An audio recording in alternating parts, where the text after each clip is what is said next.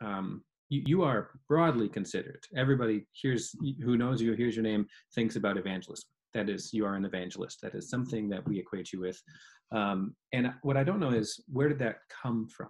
Where, where did that start? When did you feel that change from being like a kid who liked Jesus or a person who liked Jesus into someone who who wanted to stand on a street corner and tell other people about who he is. As a 16 year old, I probably had your above average angst, existential torment on a daily basis. You know, you, the pastor was uh, Bill Warnke, and you don't know him. Uh, he's in heaven.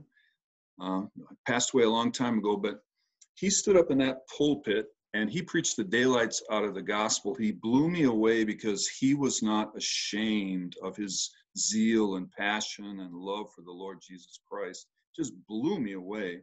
And uh, Pastor Warnke got me reading the Bible on my own. He got me uh, excited about uh, his relationship with Jesus, and that got me going on a relationship with him, and then that got me going in a relationship with Jesus. And I, I just started inviting my friends who were going through the same 16 year old angst and trauma I was.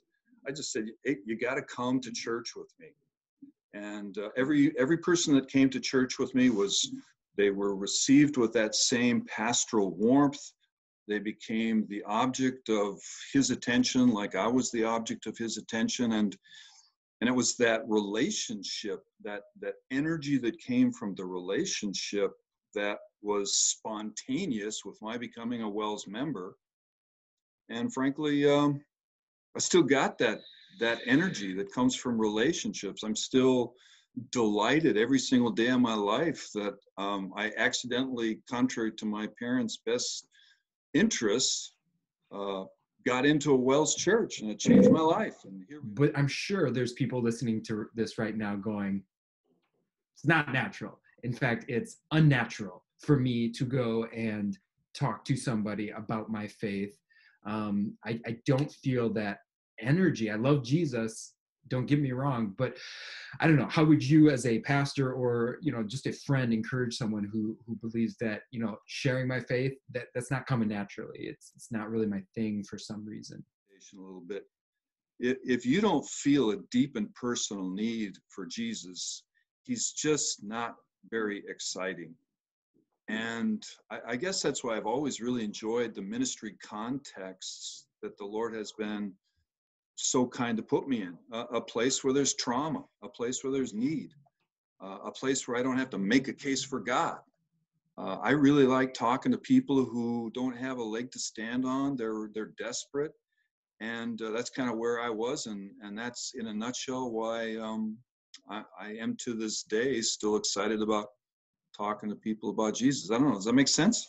That makes that makes plenty of sense. Let me follow up. What uh, the the trauma aspect, the the um, crisis aspect, especially re- resonates now under normal circumstances. Uh, I will say, like maybe even rewind two months, three months ago, like life's pretty comfortable, and uh, I think maybe that is the uh, like the great evil, right? That uh, you know Satan gets us to feel is that we are just plain comfortable with life as it is, and therefore there's no need for me to deepen my roots, nor there's nothing pushing me to go share it with my neighbor because he's comfortable too. Uh, the art challenge in this very comfortable North America, or once was and hope again soon will be comfortable North America environment, is to learn how to make people psychically, existentially uncomfortable so that we can create in them that that that interest to know Jesus as a very personal, loving, tender rescuer. Mm-hmm. And I'm hearing you say, or I think I'm hearing that part, one of the tools by which you get them, you help people see that need, is empathy. Just a, a deep, we would even call it pastoral, like you know, compassionate um, empathy towards people that is truly interested in them. Uh, uh, I really appreciate what you say, Kent. Um, somebody that doesn't know you or you plural, you three or me might hear you talk and say, "Oh, empathy is your tactic. Uh, that's your that's your trick up your sleeve." And every human being on the planet can sniff out fake empathy. And I think what we say to our members is, you know, open yourself to a relationship with anybody.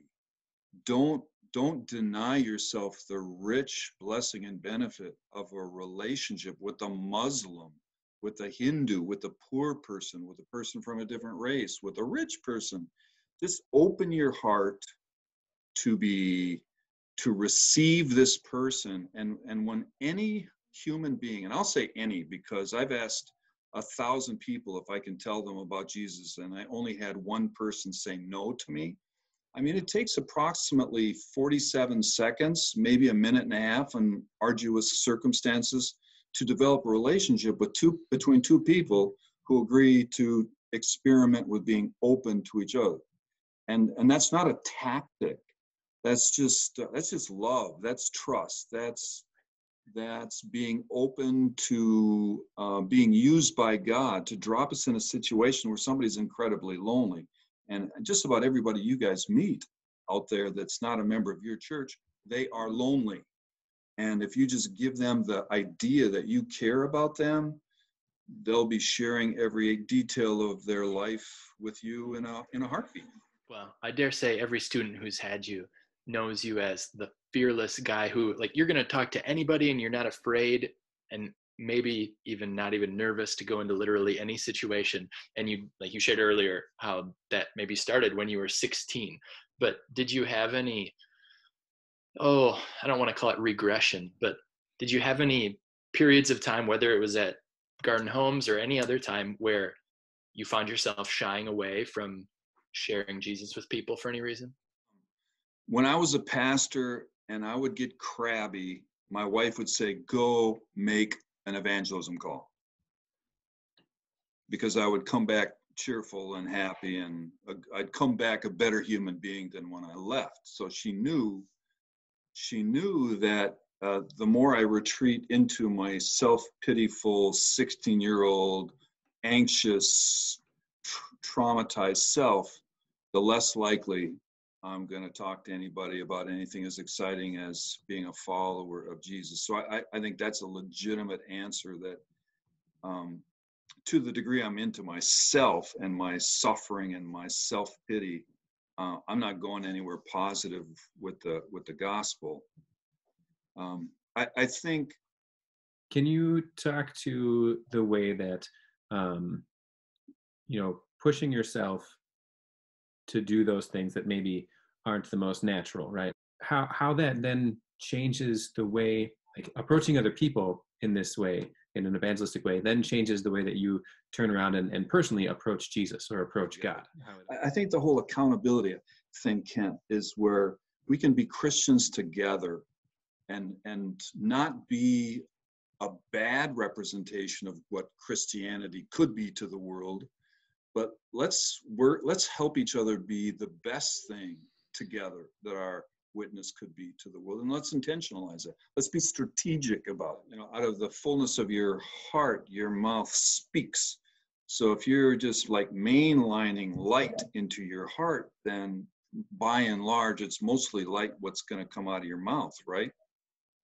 But when we separate ourselves from that the the greatest danger and you guys uh, heard you've heard me say this before, and I'll just take a moment to remind you that I'll, I'll say it to you again that when we get away from our identity, when we get away from the word that feeds that identity, then we start attaching identity to something different than our relationship with Jesus. Just to, to the degree I'm just thinking about the stuff the Holy Spirit gives me to think about, I'm probably going to be a healthier, happier, more let's talk about Jesus kind of guy. But if I let that slip out and my head's full of that that uh, selfish 16 year old that is afraid that the world is going to come crashing down around his shoulders, well, guess what I'm thinking about?